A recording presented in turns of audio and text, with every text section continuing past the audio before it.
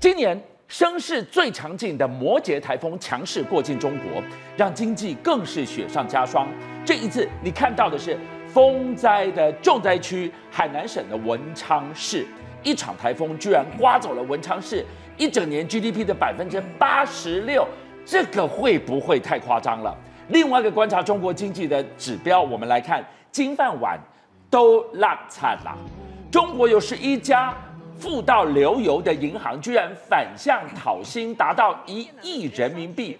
过去最有名的招商银行成了头号的讨债公司，而且更严重的是，这一股讨薪潮、追薪潮已经刮到了香港。哎，这个地方曾经是中国最有钱的，当顶级消费空洞化，店面鬼城化，这样的香港。是你认识的香港吗？没有人是局外人呐。没错，最近中国经济真的是雪上加霜，天灾人祸不断。特别是我们这几天，当然这个很多中国民众都关心的是超级强烈台风摩羯，它们号称是建国以来最强的秋台，就没想从这个海南岛这个地方扫过去。就你看海南岛遭受到重创的一个局面，你看海南岛，你看几乎是完全被摧残到不成样子的一个，你完全看不出来是这个原本的样子。好，那尤尤其是他们号称是他们最这个海口市最红的网。红餐厅来说的话，几乎是完全全毁，就是这个画面完全全毁，不不只是整个这个，你看外观都被吹翻的一个，对，然后里面已经被完全是几乎看不出它原本的这个样子。这是原本号称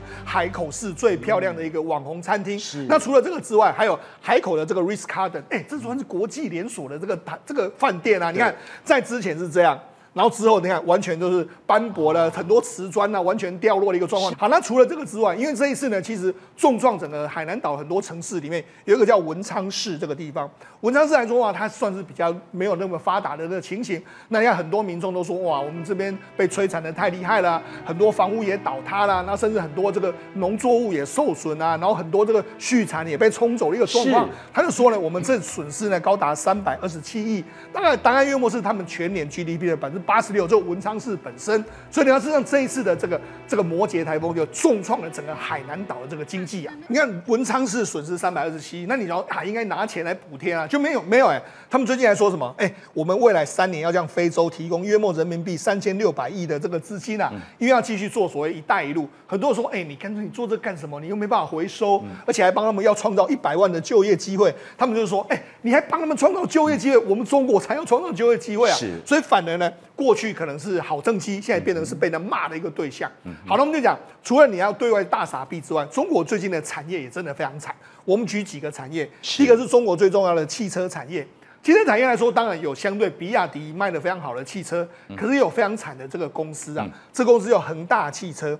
因为恒大汽车最近一段时间也是摇摇欲坠嘛，就没想到他公布了他的这个上半年的这个财报，上半年他只卖了四十辆车，四十辆车哦，四十辆。恒大造车归你呗，四十辆，四十辆，好，不只是四十辆，他血亏两百零二亿人民币，然后亏损较去年又增加了这个约约莫是 double 的一个状况，所以呢事实上对他来讲的话，汽车业还是非常惨的一个局面。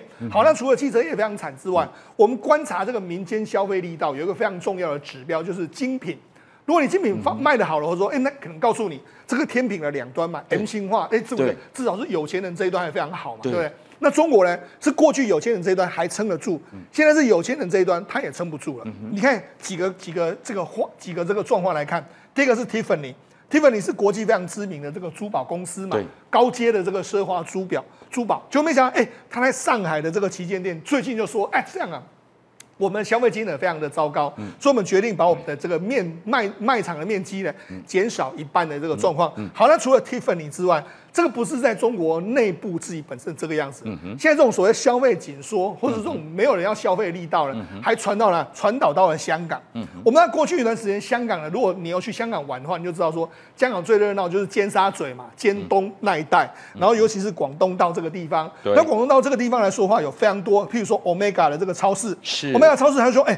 啊，欧美港的门市他说，哎，我们每个月的店租在七百五十万，就没想到后来退租之后呢，就店租就直接砍了百分之八十，也就是说，因为没有人要租，国际精品退租之后呢，根本就没有人撑得住整个香港的这个这个房租的一个状况了。好，你现在提到的，其实大家看到这个地方一个天大的危机是，底层的消费、庶民的消费小红，然后高档的对这些精品的消费都小红。没错那哪里来的所谓的消费动能？如果东西是红体啊，你怎么拼经济？对，没错，所以就中国目前为止出现一些乱象，或者说一些怪异的现象。什么怪异的现象？我们中国呢，在河南这个地方商丘市、有一个超市，就说：“哎、我要倒闭了。”就没想很多人就跑进去，因为它倒闭啊，就没想到我们就进去里面抢啊，所以呢，他们就进去里面就开始抢，反正你要倒了，我们就把东西都拿走。就没想到倒了之后开始，你看还有民众进在里面啊，等个吃东西啊，然后就直接打开东西、啊。这个不是什么，这个给人家感觉像暴民呢、对，然后有一点像霸王霸王餐，就没想到后来就说没有，我们根本没有要倒闭啊，这完全是误传。但是搞什么问题是他们已经被人家 完全，你看这位 shopping 一空，人家就说这是中国版的这个零元购的一个状况。好，那那为什么这传这是什么意思呢？表示呢，他们超商、超市随时都会倒闭。是在座的民众他也不管那么多，反正我现在没有东西可以吃，我就跑进去嘛，对不对？我就能够抢就抢，这个民众贪便宜的这个这个心态。是另外一个就是说，很多中产阶级，他目前为止日子也不好过。像我很多朋友呢，在以前在中国的这个银行业工作，他们最近也都慢慢回到台湾。是为什么他们回到台湾去？现在知道，他们怕被讨薪水。那这个不是假的，哦你看啊，二零二三年的时候，中国有十一家银行对反向讨薪一亿人民币，就是说，你就像你过去跟我拿了太多薪水，我要给你讨回来。特别是要讨什么？你奖金的部分。那其中里面来说，招商银行是讨薪王。为什么招商银行讨薪王呢？因为他过去给银行业者的这个薪水最高，他一共讨了约莫是四千三百二十九万的人民币。那里面有包括说四千四百一十五名的员工都受到影响。那目前为止，这种讨薪潮不是只有招商银行哦，很多国企、很多国内的银行，这个中国国内银行都这样做，甚至连香港都这样做。所以你还说，哎，为什么我同朋友跑回来？因为他很怕，过去我所领的高阶的奖金、高阶高薪的奖金呢，搞不好有被讨回去的这个状况啊。这件事情严重了，哎，你要知道，你给我的 bonus 是反映当年度我的贡献，对啊。对公司的反应，你给我天经地义赢获两气，对。还有在 N 年后追讨回来的道理，更何况香港是亚洲金融重镇最重要的地方，对啊所以影响很大，哎，所以大家都觉得不可思议。好，那更不可思议来了，因为嘛，最近一段时间不是中国的这个民众很多，哎，毕业就是失业，嗯，他们很难受，嗯，那怎么办？我要找这个毕业就要工作的话，那很简单，我找建教合作的嘛，是。所以就有民众现在他就具名简报，他是具名举报，就是说我遇到了诈教育诈骗，我三年换了三所校区，那收了昂贵的这个学费，然后没有学籍，也没有毕业证书，然后也没有人说，哎，我毕业之后就可以安置就业，都没有。